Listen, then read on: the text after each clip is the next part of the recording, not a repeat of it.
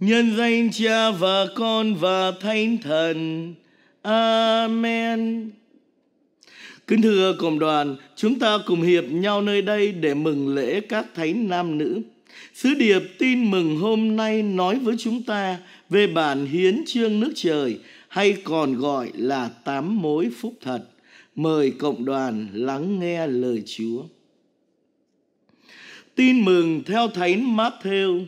Khi ấy, Chúa Giêsu thấy đoàn lũ đông đảo, người đi lên núi và lúc người ngồi xuống, các môn đệ đến gần người.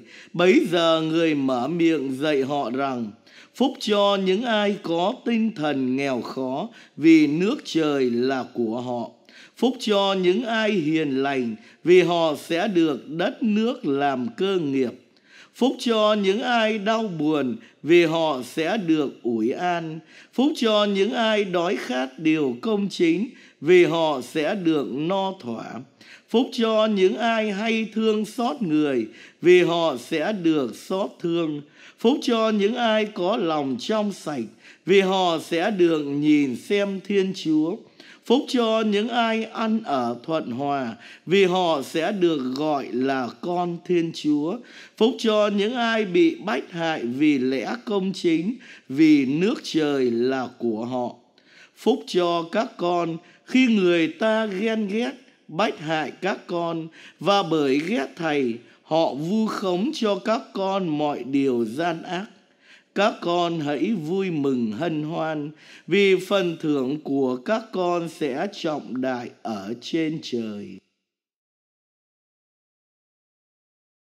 Kính thưa quý ông bà, anh chị em, hôm nay cùng với toàn thể giáo hội, chúng ta hân hoan mừng đại lễ các thánh nam nữ. Đây là một niềm vui mừng cho tất cả chúng ta và cũng là niềm hy vọng cho chúng ta. Chúng ta vui mừng vì ông bà cha mẹ, những người đi trước chúng ta, những người đã sống cuộc đời như chúng ta và đã đi chọn cuộc đời của mình trên con đường Chúa dạy, giờ đây đang hưởng vinh quang thiên quốc. Chúng ta hy vọng bởi vì các thánh cũng là con người như chúng ta, cũng yếu đuối thấp hèn, cũng giới hạn bất toàn, cũng có những thiếu sót lỗi lầm như chúng ta. Nhưng nhờ tình yêu thiên chúa bao bọc, chở che, gìn giữ và thánh hóa, các ngài đã nên thánh. Chúng ta cũng hy vọng rằng nếu chúng ta sống trong tình yêu và ân sủng của thiên chúa, thì sau cuộc sống trần gian này, chúng ta cũng sẽ được chung hưởng vinh quang với các ngài trên thiên quốc. Kính thưa quý ông bà anh chị em, con đường nên thánh không phải là con đường chỉ dành cho một số ít những người xuất sắc nào đó, nhưng là con đường dành cho tất cả mọi người. Đó là lời mời gọi và hơn nữa đó là lệnh truyền các con hãy nên thánh vì ta là đấng thánh. Thế nên không có gì ngăn cản chúng ta nên thánh người khác nên thánh được thì tôi phải nên thánh được vậy con đường nên thánh là con đường nào? Thưa, đó chính là con đường Chúa Giêsu dạy chúng ta. Đó chính là tám mối phúc thật, hay còn là gọi là bản hiến chương nước trời. Đó là con đường Chúa Giêsu đã sống và dạy tất cả chúng ta sống.